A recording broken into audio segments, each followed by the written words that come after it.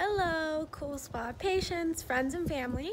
Um, this is Ellie, Dr. Rapaport's medical assistant, coming to you from my home in Virginia to give you an update on the MiraDry treatment that I had at the beginning of March. So it's been about six weeks since I had the mirror MiraDry treatment to stop sweating in my underarms. I would say things are completely healed at this point. I had a little bit of residual swelling and bumpiness in my underarms, but as you can see, it's almost entirely gone. Um, my sweating stopped pretty much immediately right after the treatment and the results are still amazing. Um, I'm about to go work out and I know that my t-shirt is safe. um, and also I'm gonna give you a close-up of my underarm, so just a warning.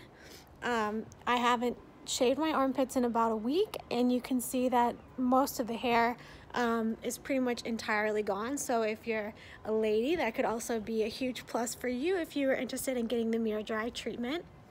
So thank you so much, Cool Spa and Dr. Rapaport for making that possible for me. Um, and I'm so thrilled that it's going to last me pretty much the rest of my life. Yay, MiraDry!